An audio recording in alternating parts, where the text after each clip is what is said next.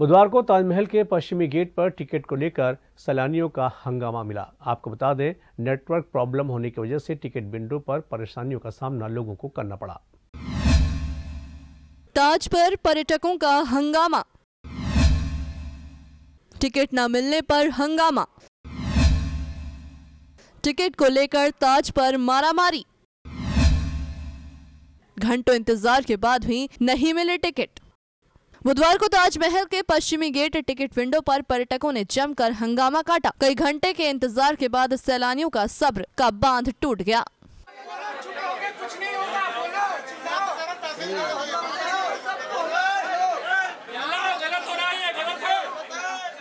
आपको बता दें कि ताजमहल पर टिकट की व्यवस्थाओं की ज़िम्मेदारी एसआई की है। कोरोना काल के बाद से शुरू हुई ऑनलाइन टिकट के लिए नेटवर्क प्रॉब्लम, सैलानियों की परेशानी का कारण बनी हुई है। हालाँकि पर्यटक की सुविधा के लिए एसआई ने फ्री वाईफाई की सुविधा भी मुहैया करा दी गई है, लेकिन उसके बावजूद भी सैलानियों की परेशानी कम होने का नाम नहीं ले रही है। ताजमहल पर टिकट को लेकर पर्यटकों की समस्या कम होने का नाम नहीं ले रही है। इस वक्त हम मौजूद हैं टिकट विंडो पर जहाँ आप देख सकते हैं कि पर्यटक काफ़ी हंगामा करते हुए नज़र आ रहे हैं। जिस तरह से देखा जा रहा है कि यहाँ पर यानी जो पर्यटक हैं उन काफ़ी देर होने के चलते यहाँ पर काफ़ी देर से खड़े हुए हैं जिसकी वजह से यहाँ पर काफ़ी अग्रेसिव हो रहे हैं। जिस तरह से देखा जा रहा है कि जिस तरह से क्या मामला है? सर क्या खड़े हुए हैं यहाँ पर एक काउंटर बंद है। पाँच घंटे से खड़े हैं काउंटर बंद है ये। एक काउंटर चला रहे हैं और वो भी आगे नहीं बढ़ रहा। और ऑनलाइन नहीं मिल रही टिकट ये देखिए भैया क्या बोल रहे सुनिए इनको।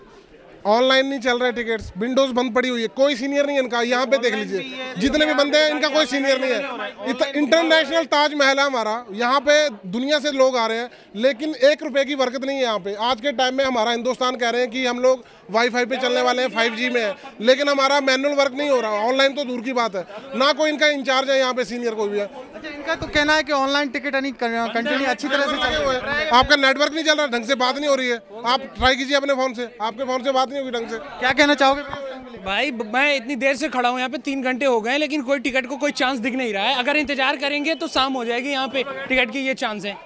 और ऑनलाइन भी इन्होंने चारों तरफ़ जैमर पूरे दो तीन किलोमीटर के अंदर जैमर लगा के रखा हुआ है कि ऑनलाइन भी आप टिकट नहीं कर सकते यहीं आके आप लाइन लगाएँगे। और और कोरोना भी फैल रहा है कोरोना फैल रहा है इंटरनेशनल टूरिस्ट आ रहे हैं भाई कोरोना नहीं फैलेगा तो क्या होगा? टिकट नहीं दे रहे। हमारा मुँह बंद करने के लिए कह रहे हैं वो देखो आज वो टिकट खुल गया काउंटर ये आधे घंटे बाद फिर बंद हो जाएगा। हमें कंटिन्यूटली चाहिए इतनी हरासमेंट ना हो पब्लिक को ताकि। आपने देखा कि यहाँ पर जो पीछे देख सकते हैं कि किस तरह की हालत देखने को मिल रही है। यहाँ पर जो ये है व्यवस्था है यहाँ पर पूरी तरह से बेकार नज़र आ रही है, ठप नज़र आ रही है। जिस तरह से देखा जा रहा है कि काउंटर पर हंगामा देखने को मिल रहा है। पर्यटक काफ़ी देर होने के चलते यहाँ पर पर्यटक यानी काफ़ी परेशान चल रहा है। जिस तरह से देखा जा रहा है कि आप लंबी कतार है और कई घंटों का इंतज़ार करने के बाद पर्यटक यहाँ पर हंगामा करते हुए नज़र आ रहे हैं। हालाँकि एएसआई अधिकारियों को एएसआई अधिकारियों के जिस तरह से यहाँ पर कह रहे हैं, जिस तरह से अपील कर रहे हैं, वो लोग कह रहे हैं कि हंगामा करने को और अधिक टिकट विंडो खोली जाए। आपको बता दें कि क्रिसमस के बाद से ताजमहल पर सैलानियों की काफ़ी संख्या देखने को मिली है और क्रिसमस के बाद से ही लगभग तीस हज़ार के आसपास सैलानी ताज को निहारने के लिए ताजमहल पहुँच रही हैं। लेकिन उसको देखते हुए एएसआई द्वारा टिकट को लेकर कोई भी सुविधा देखने को नहीं मिल रही है यही वजह है की सैलानी ताज दीदार के लिए तो आते हैं, लेकिन एएसआई की टिकट व्यवस्थाओं को कोसते हुए वापस चले जाते हैं पर्यटकों की समस्या को लेकर कई बार अधीक्षण पूरा तत्वविद राजकुमार पटेल ऐसी बात की, लेकिन उसके बावजूद भी सैलानियों की परेशानी परेशानी का कोई हल नहीं निकल रहा है। सी न्यूज़ के लिए गोपाल शर्मा की रिपोर्ट।